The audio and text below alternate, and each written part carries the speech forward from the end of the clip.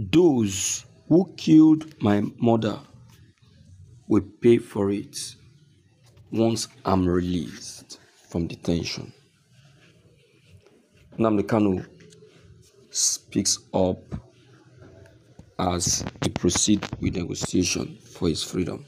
All right, my people, no be small matter. Yes, so yesterday uh, was Mazi Nnamdi Kanu's hearing, though the hearing didn't end up well because they still deny Nnamdi Kanu bail.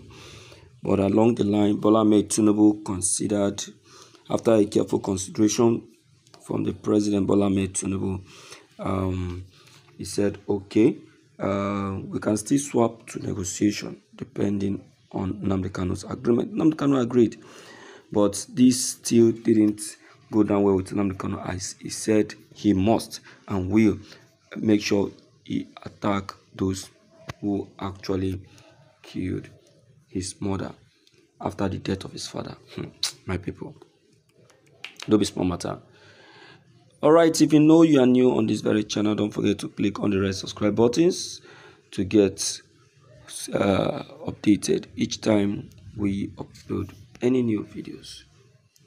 This is today's news. The leader of the indigenous people of Biafra, Mazi Nnamdi Kanu's trial held yesterday, the 19th of June 2024. The IPOB leader who was denied bail after all negotiations and discussions from the courts posted a statement concerning the continuation of his next trial. Nnamdi Kanu, who didn't sound well after the court declaration, has pleaded that he is ready for a negotiation. Placing his condition, Nnamdi Kanu said that the federal government are planning to leave him and abandon him till 2027.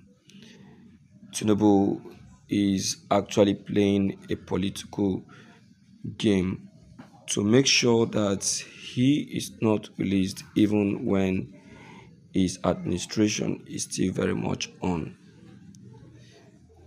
He has pleaded that the negotiation will actually go down well if the federal government can agree to the condition of leaving the Igbos and the Southeast people out of their terrorism attack. The Igbos has nothing to do with killings in the Southeast or in Nigeria. IPOB is a freedom fighting group, not a terrorist group. This has always been my fear. Reacting to this, the IPOB leader has posted that as for those who actually killed his mother after the death of his father, we begin to pay for it once it's released. He ended. All right, uh, Nigerians, um, I greet you all. I greet you all. I greet you all.